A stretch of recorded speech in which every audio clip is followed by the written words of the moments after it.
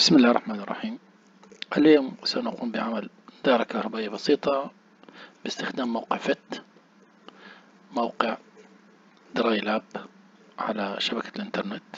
هذا الموقع يتيح للشخص إجراء تجارب simulation اللي هي تجارب المحاكاة فدائرتنا الكهربائية موجودة في الفيزياء.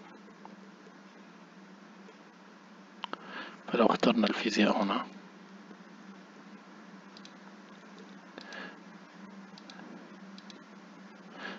نختار نختار electricity magnetic.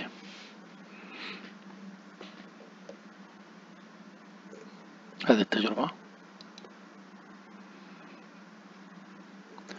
نعمل تحميل هذه التجربة فأمامنا خيارين إما open أو save ثم open لو فتحنا open مبدئيا ننتظر حتى يكتمل التحميل.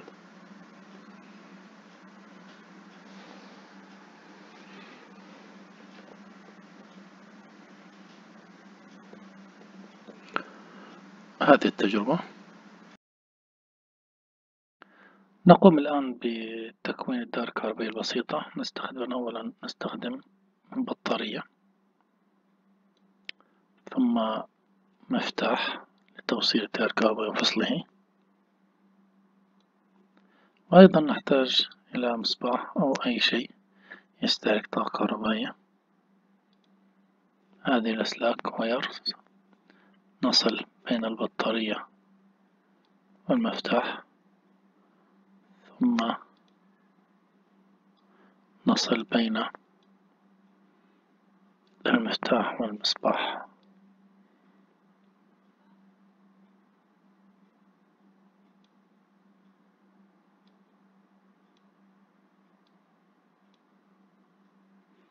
ثم بين المصباح و البطارية.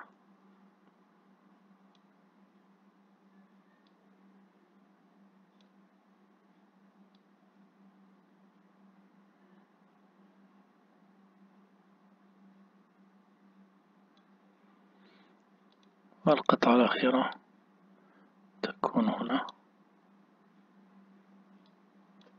فتكون الآن الدائرة الكهربائية قد اكتمل تكوينها. باقي أن نغلق المفتاح.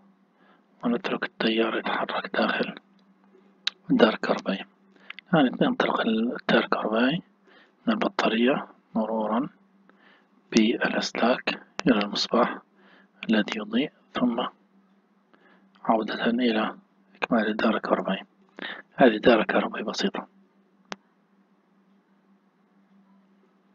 حسنا. الآن اكتمل الجزء الأول من التجربة وهو الكهربائية بسيطة لو أردنا حساب آه، قيمة التيار الكهربائي. فنستطيع من خلال ما يلي أولا نفتح المفتاح نفتح دائرة كهربائية فأصبحت الآن دائرة كهربائية غير متصلة. آه، لو أردنا نفصل هذه نكبس كبسة يمين بالماوس ثم نفصل. كبسة يسار ثم نحضر آه، أميتر. هذا الأميتر مكتوب هنا أميتر. يجب أن يكون في هنا تك عند الأميتر حتى يظهر عندنا هنا.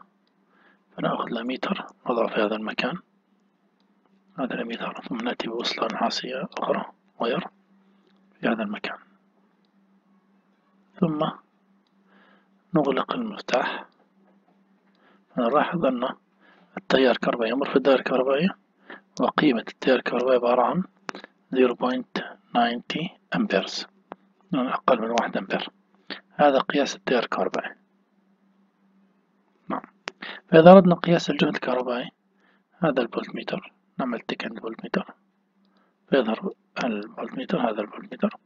لو وضعنا طرف الفولتميتر في هذا المكان والطرف الثاني في هذا المكان المصباح فقيس جهد المصباح قريب من تسعة فولت. لو وضعنا أردنا قياس للبطارية نضع طرف هنا ونضع طرف هنا فيكون تسعة فولت بالضبط. طبعا ينقص جزء من جهد البطارية عندما ينتقل التيار للمصباح بسبب مقاومة السلك للتيار الكهربائي وضياع جزء من الطاقة كحرارة في الأسلاك. هذه تجربتنا قد انتهت. تمكنا من تكوين دائرة كهربائية بسيطة ثم تمكنا من قياس التيار الكهربائي ثم الجهد الكهربائي وشكرا لكم على حسن المتابعة والإصغاء.